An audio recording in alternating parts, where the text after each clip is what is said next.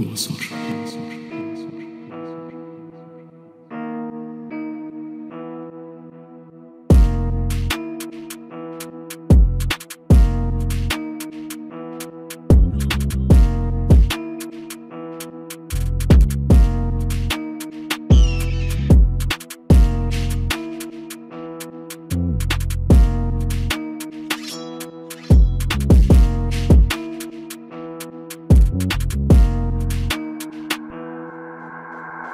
com Açores.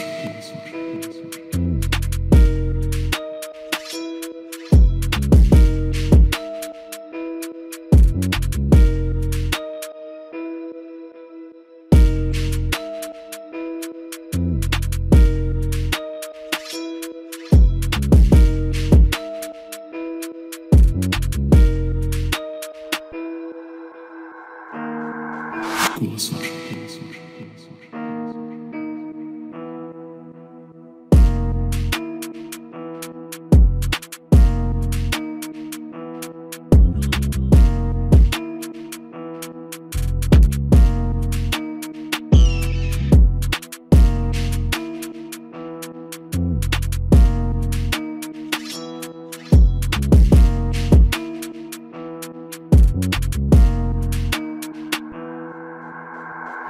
Косор.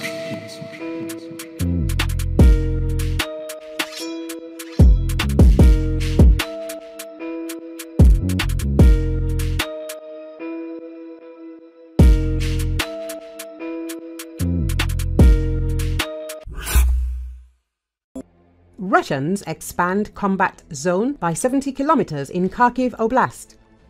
Russian troops have expanded the area of combat actions by almost 70 kilometers, thus attempting to force Ukrainian troops to deploy additional brigades from the reserve. Alexander Syrsky, commander in chief of the armed forces, said this on social media. Syrsky stressed that due to the deteriorating situation in Ukraine's east, he has been working for several days in a row in units engaged in combat operations in Kharkiv Oblast. He said that the Russians had focused their main efforts on the Strilecha Liptsy front and the capture of Vovchansk with further access to the settlement of Bilyi Kolodyaz and the launch of an offensive to the rear of Ukrainian troops. To this end, the Russians created and significantly strengthened their operational tactical group Sever which included combat units of the 6th Army and 11th and 44th Army Corps.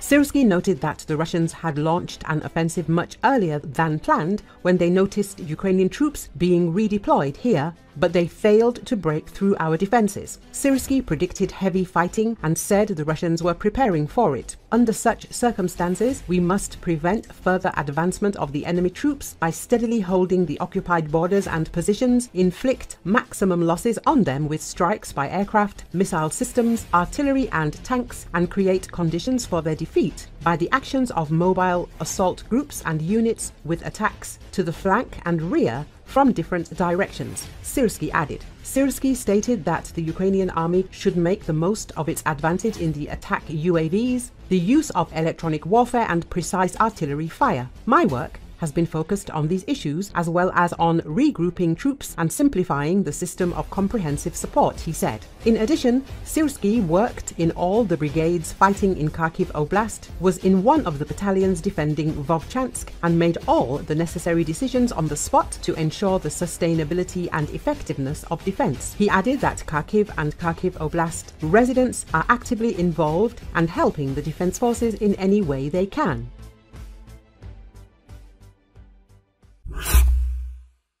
Сожгли нам все-таки блиндаж, он все завалило, пришли посмотреть. А моя каска сгоревшая. Короче, вот, сожгли нас полностью. Бабка Ешка, вот что она может. О, здесь. Все блиндажи, все погорело. Скинул сюда, видно. Автомат у тебя сгорел, да, Хорь? Блядь, БК все, 150 бога сгорел. Короче, все сгорел. Тырчик сгорел. Тырчик сгорел.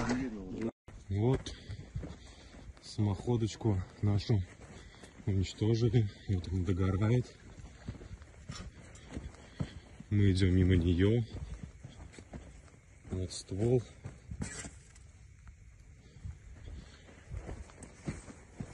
Какие-то обломки.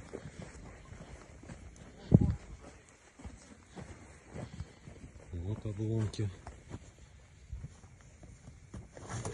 Ох, Серега,